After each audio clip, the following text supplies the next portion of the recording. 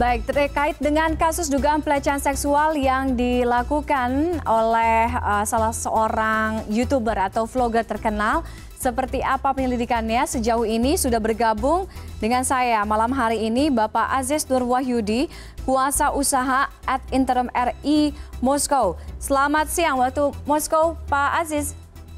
Selamat siang Iya, Selamat Pak Aziz. malam waktu Jakarta, waktu Selamat Indonesia. malam. Terima kasih sudah bergabung dengan kami, Pak Aziz, terkait dengan dugaan pelecehan seksual ini. Sejauh mana penyelidikannya eh, yang diketahui, Pak?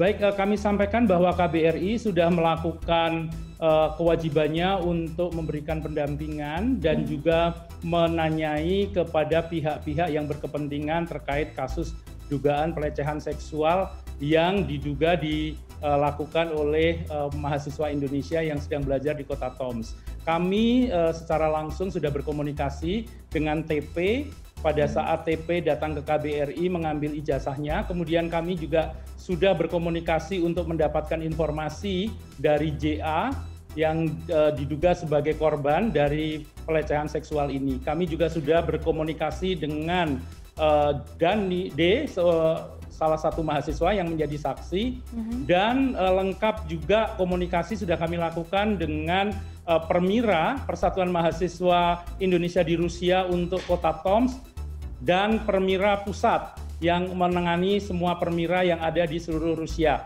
Kami juga baru saja berhasil berkomunikasi dengan keluarga JA uh, untuk mendapatkan masukan dan juga mendapatkan keterangan serta harapan-harapan apa yang uh, diharapkan oleh pihak keluarga dari JA. Kami akan berusaha secepat mungkin bisa berkomunikasi dengan keluarga TP yang ada di Indonesia juga sehingga kami nanti bisa secara komprehensif mendapatkan data, mendapatkan masukan dan juga uh, secara fair me mencoba untuk membantu memediasi uh, penyelesaian masalah uh, dugaan pelecehan seksual ini.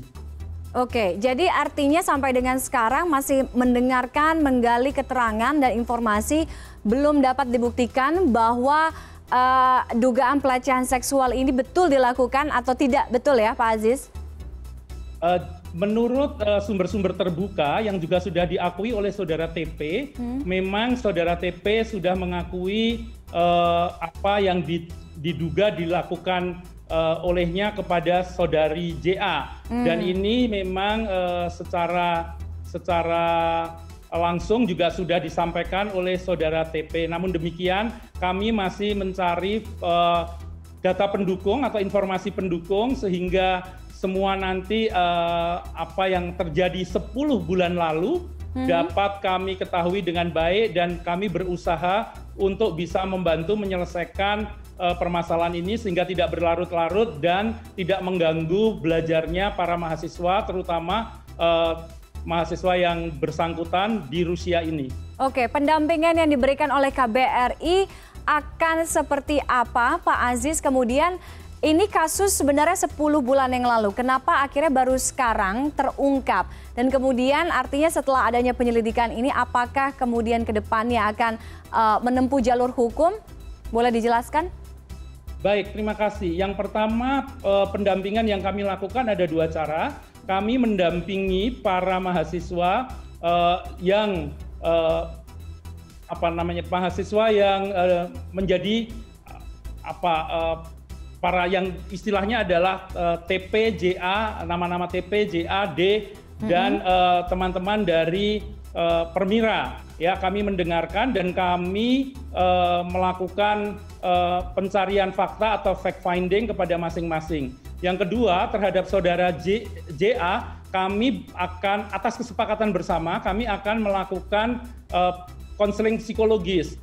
Nah ini yang akan kami bantu tentu saja dilakukan dengan psikolog profesional sehingga nanti bisa membantu pemulihan psikologis dari uh, saudara JA. Hmm. Kemudian uh, terkait dengan lama waktu, kenapa pada saat uh, kejadian tahun lalu baru kemudian terungkap saat ini?